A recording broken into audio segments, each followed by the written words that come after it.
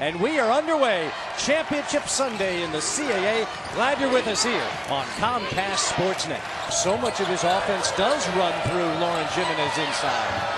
A backdoor look. Parker. Another one for Danielle Parker. I think she needs to just keep moving the ball around, let her teammates help her. This is Courtney Hamner. And rattles home a three. Long three for Evans. Yes! A good start for JMU. Here's Evans again. Rattles in another three. Number two, working her way to the hole. Tip back out, and she got the rebound. Lauren Carra buries a three. Hislop will clean that up and give it to Dawn Evans. Working on Danielle Parker. Stops and pops. She's done a great job in her senior year. Two for two from behind the arc for Courtney Hamner, and the first bucket for Elena Delle Donne. She's got a lot of uh, non-family members, fans as well, and a great strip right there on McLean. Jocelyn Bailey now against Hamner. Danielle Parker with a short jumper. Evans against McLean into Jimenez. And Tina Martin needs a timeout. Their matchup D, they've got to really make sure they're out. And with Delle Donne guarding Evans now on that far side, Courtney Hamner says, fine, you're going to guard Delle Donne. Deladon's going to guard her. I'm going to hit it from the right side. Still trying to shake her way free. Cross court for Hamner.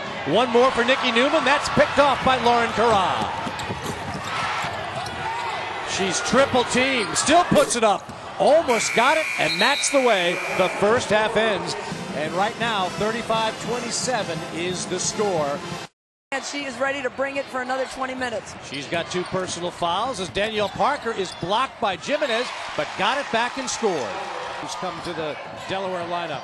She almost traveled. McLean with three to shoot. Delle Donne, the stick back, beats the buzzer. Hamner trying to get something off the dribble. Good look for Evans. Got it. Surrounding Delle Donne every time she touches the basketball. Staying in the 2-3 match. Very nicely done. Outside, inside. Getting called that. That's not going to be called a moving screen. Delle Donne got that one down. She had been four of five before those two misses.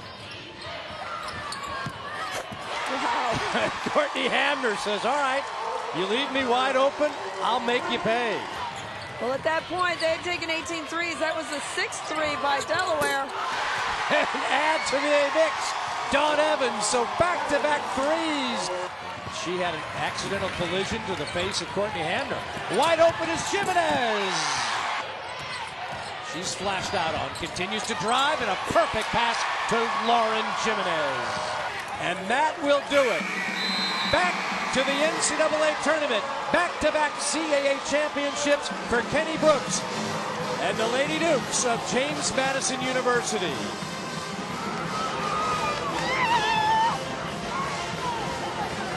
Yeah, guys, I guess this feeling never gets old celebrating the CAA championships. Got to feel good again. Oh, yeah, it feels great. It feels great. Get your shirt. I know, you know. Um, it, it, feels good. You know, me and, our, me and my team, we worked extremely hard, you know, with the coaching staffs. And to go out as a senior with two back-to-back wins, it's no other feeling like it. I mean, it's it's overwhelming right now. So I'm just really happy for me and my girls and my coaching staff because I feel like we really deserve it. And it was really a, a, true team effort. We talked about the shooting earlier. Hamner in some shots. Jimenez so big on the boards. Your defense on Delle Donne. Funny how scores get their average, but you made her work for it, and you guys it was a team win. Yeah, we did. And Dawn gets a lot of the accolades, but she'll be the first one to tell you that we're a team. And she loves giving the basketball up so much so that I have to get after her to shoot more because she's such a prolific scorer. But we did a great job opening it up. Courtney Hamner will hit some timely shots for us. Jimenez stuck with it. It's a total team effort, and we're a good team when we do that. So very proud of this senior group. You know, they've been wonderful for this university, and for them to go out like this, there's no better feeling for me as a coach. Now, do you care where you go for the tournament? It'd be nice to go to UVA right there. We know we have a great fan base. Look at all of them over there. So it'd be nice to play at UVA and have a good fan base, but wherever we go, we're going to compete. All right, well, congratulations to both you guys again. I'll let you go celebrate. Awesome, awesome accomplishment. Back to you guys.